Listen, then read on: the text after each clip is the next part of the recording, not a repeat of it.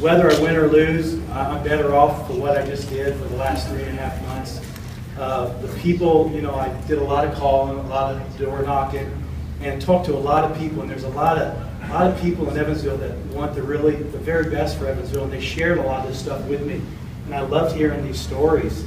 Uh, And, and like I said, whether I won or lost, I'm, I'm so glad I just did what I did. Uh, But I- it's nice to live win, huh? Um, uh, I, I have, my little team of, uh, that helped me get up here, I just want to thank them.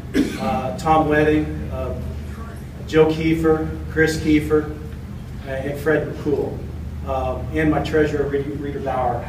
They were, they're a good team, they're smart people, and I- it's always good to surround yourself with people smarter than you are, you know?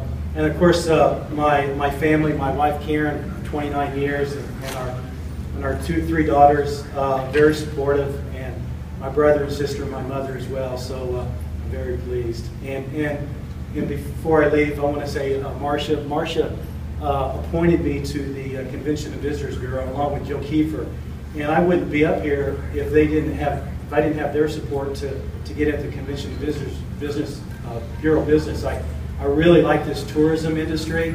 I love promoting Evansville. We've got a great city, and uh, you know I'm going to continue to do that for the next, uh, you know, for the rest of the rest of the year. Actually, forever. You know, uh, Evansville's a great place to live and raise a family. So, thank you very much.